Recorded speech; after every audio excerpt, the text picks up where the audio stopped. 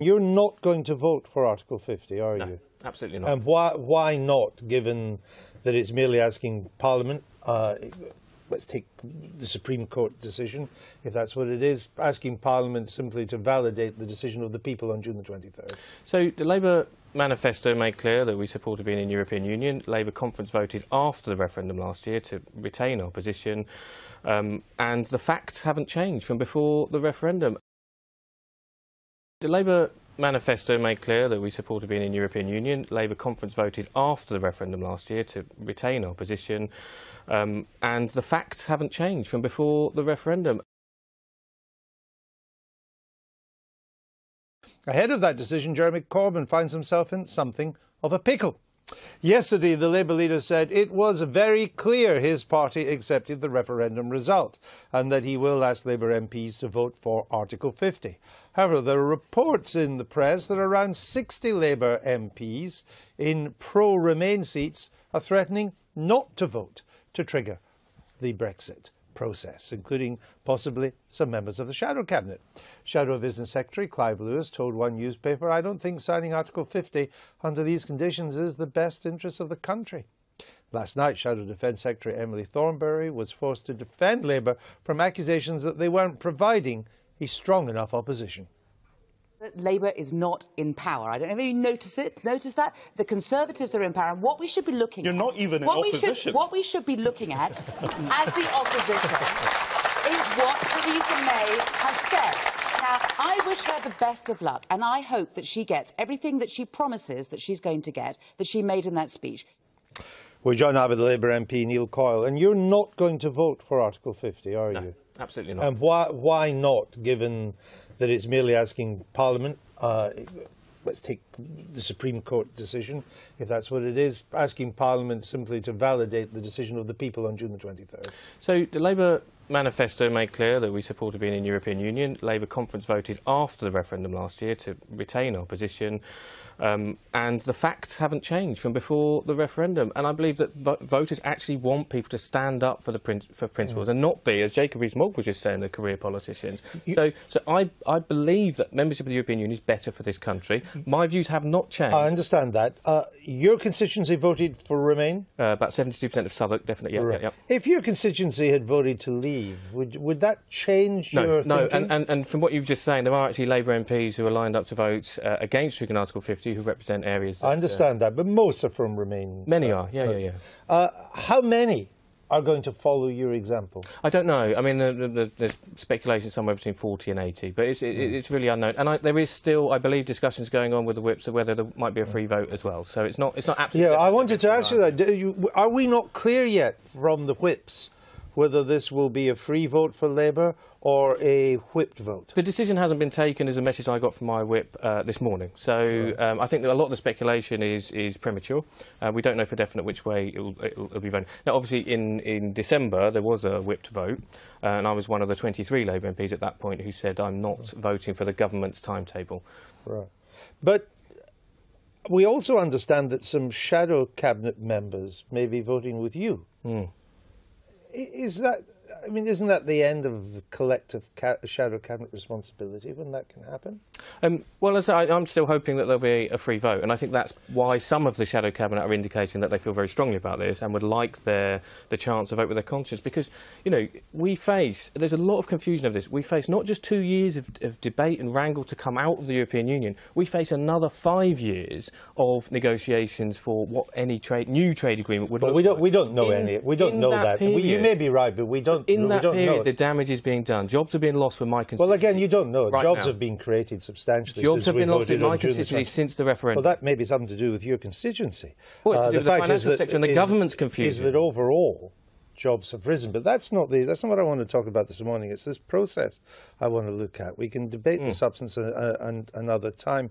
Is it not remarkable that Her Majesty's opposition on something as so fundamental as a vote to trigger uh, the negotiations to begin our exit from the European Union doesn't have a collective policy and would have a free vote? Well, to try and portray this as uh, you know a Labour division or you know Labour not providing opposition, Um, I, I completely dispute. Well, you're The Conservatives- divided. Well, the Conservatives have lost. David Cameron left early. One Tory MP who supported Brexit has quit, and Zac Goldsmith was thrown out for his support. So to, to suggest that there's you know only uh, Labour confusion on this is the government is in disarray, and the damage is being done. You say you want to come back and talk about that. I'm saying I would with, with businesses from my constituency this morning. They're already not investing. They're already not taking premises. The financial sector is indicating No, 7,000 banking jobs leaving this country as a direct result already of government All, I- all these figures could be disputed, uh, but that's Well, not facts. the They're issue. facts, well, actually, afraid. they're not facts. I mean, I they think- are. The 7,000 jobs have been told you know, by the bank. Clever, I'm, I'm like, I'm, I'm an anti-Brexit person too. Right. I'm a Labour supporter. Good. I'm not a member of the party,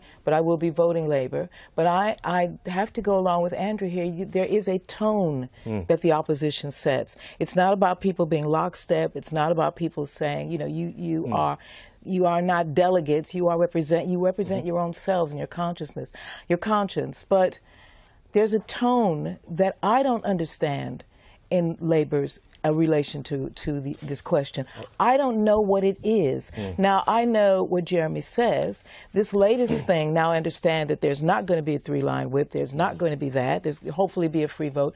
But I don't know where Labor stands. All right. And I don't know where Let- it let- stands in I. I just need to hear from Kate on this, and we need to move on. So the referendum technically was advisory; it didn't have any right. political weight to it. So th- Oh, at it had political well, weight. had- It had political weight, but it's, it wasn't binding. Is my But point. it hadn't. It didn't necessarily have constitutional weight. Exactly. Yes. But your point to the career politicians is it not strange to have a referendum, to hear the voice of the people, um, and then to decide that you're going to go down your own path and reject what they've told you to do? I, I suppose my struggle is isn't it not the most optimum of a career politician Right. to do what they want I'm going to let that. people That's a good otherwise? question. We're going to let it hang in the wind because we need to, to move on. Again, you don't know. Right Jobs now. have been created substantially. Jobs since have been lost in my on June the constituency since the referendum. Well, that may be something to do with your constituency.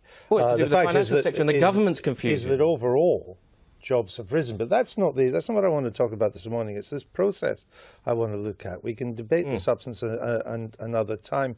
Is it not remarkable that Her Majesty's opposition, on something as so fundamental as a vote to trigger uh, the negotiations to begin our exit from the European Union, doesn't have a collective policy and would have a free vote? Well, to try and portray this as uh, you know a Labour division or you know Labour not providing opposition, um, I, I completely dispute. Well, you're The Conservatives- divided. Well, the Conservatives have lost. David Cameron left early. One Tory MP who supported Brexit has quit, and Zac Goldsmith was thrown out for his support. So to, to suggest that there's you know only uh, Labour confusion on this is the government is in disarray, and the damage is being done. You say you want to come back and talk about that. I'm saying I would with, with businesses from my constituency this morning. They're already not investing. They're already not taking. in pro Remain seats are threatening not to vote to trigger the Brexit process, including possibly some members of the Shadow Cabinet.